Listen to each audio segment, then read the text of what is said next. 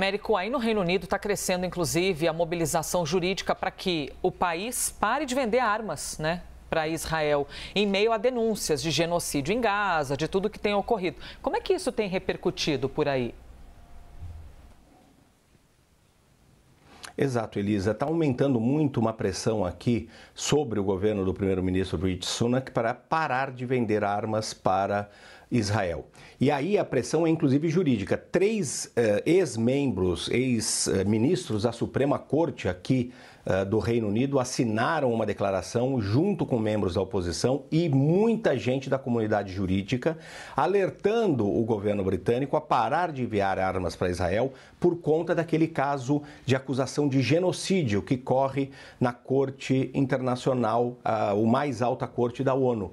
A corte determinou que Israel não deve uh, cometer nenhum tipo de ação que possa no futuro ser interpretado como genocídio. Disse, inclusive, que era necessário garantir ajuda humanitária dentro da faixa de Gaza. E obviamente o que aconteceu, sete pessoas foram mortas essa semana. Então tem um conflito ali entre o que foi determinado pela corte e o que aparentemente está acontecendo no terreno. Essas figuras jurídicas, esses ex-membros da Suprema Corte, estão alertando o governo britânico que o governo pode ser considerado responsável também, ou corresponsável, se a corte determinar que o que está acontecendo em Gaza é um genocídio. Lembrando que não houve uma decisão da corte.